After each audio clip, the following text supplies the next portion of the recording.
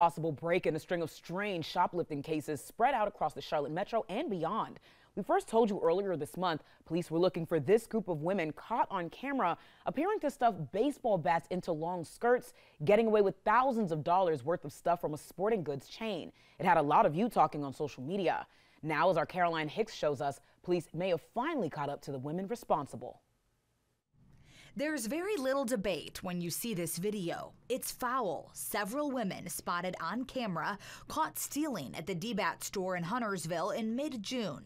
But they weren't stealing bases. Employees say they were caught stuffing expensive baseball bats under their long skirts. After looking at the cameras, there were 17 bats that were, that were taken. And I'm not talking about, you know, 100. And, $5 bat. These bats average $350 to $500. D-BAT locations in Concord and Indian Trail also reported similar crimes. But now the women at the center of this crime spree may have finally struck out. I saw one of them came in and then uh, just I right away I knew who they were. Over the weekend, police in Asheville got a call about a very similar case at another D-BAT store. Danilo Darmes is the manager at the Asheville location. He tells WBTV he was already on alert for this group when they walked in Sunday and quietly called the cops. They don't want to do anything would um, scare them away or something. That way, gives them buying some time for the cops to get here.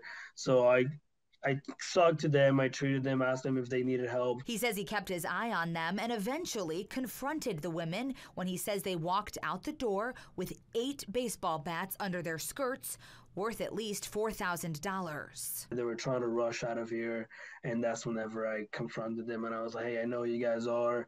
The police, I already called the cops, they're on the way. He says they started to run and he followed them, even snapping a picture along the way for police. I was able to catch up with them like a block away. They were hiding in some bushes, and then that's whenever the cops arrived as well. Officers took Veronica Constantine, Alexandra Lenescu, and Jennifer Antonesco into custody. Darma says it was the stores in Huntersville and Concord that helped him know what these women were really doing in his store. Well, that and one other obvious thing. The big dress just gives it away, especially whenever it's a 92 degree day outside. Reporting in Charlotte, Caroline Hicks, WBTV. On your side. And while these crimes all appear to be extremely similar, we're asking police if these women arrested in Asheville are the same women spotted in Huntersville, Concord, and Indian Trail. Union County investigators believe so. We know Asheville police have contacted other authorities here to see if they're all connected. Meanwhile, this